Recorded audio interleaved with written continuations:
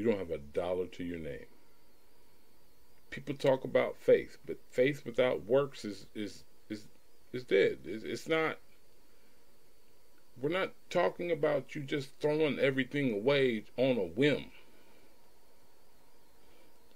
You have to put some. You have to invest in yourself.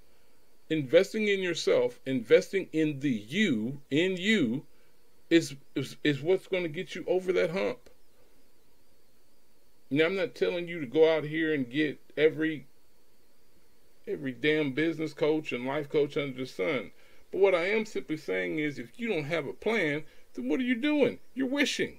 You're wishing and you're hoping that things work out. Well, hope hope isn't going to pay the bills. Hope isn't going to get the job done.